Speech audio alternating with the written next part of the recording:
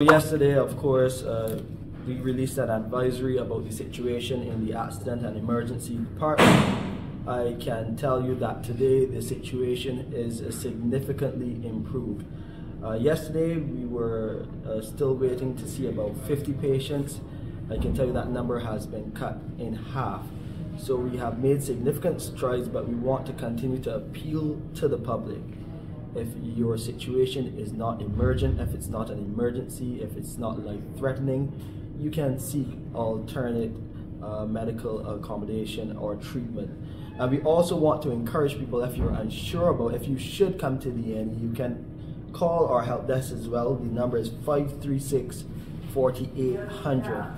Our, our team there, they're working to midnight, so the help desk is available between 9 in the morning and midnight you can have your questions there so you can have a better idea about if you need or if you should use the services of the accident and emergency department.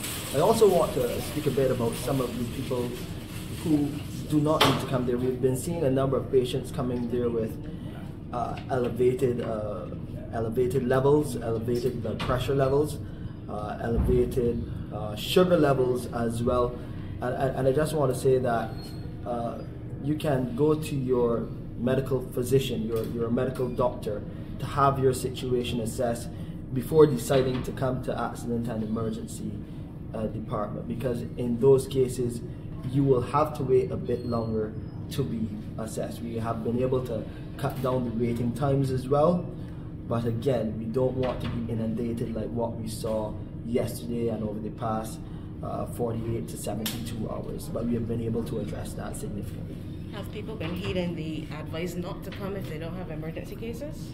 Well, it seems that way because uh, uh, we've seen a, an ease in the patient flow, and our doctors have been able to see more patients and cut the numbers waiting in half.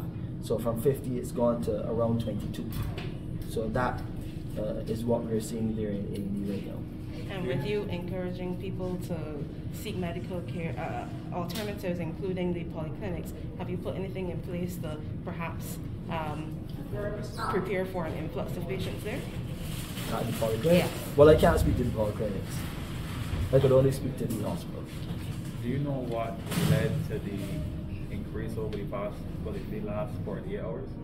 I mean, it's a, it's a wide range, it's a spectrum, but still we are seeing uh, some patients uh, that can seek alternative care elsewhere still choosing to come to the accident and emergency department. So we try to explain to them that when they come in those situations, they will have to wait a bit longer than they would like to. But it is a process, and the triage system, uh, through the triage system, where there is a priority list, of course, categories one, category one and twos are those gunshot victims, those people with heart attacks, resuscitations, they will be seen immediately. So then in those cases, it would push back those other patients who would have to wait a bit longer for care.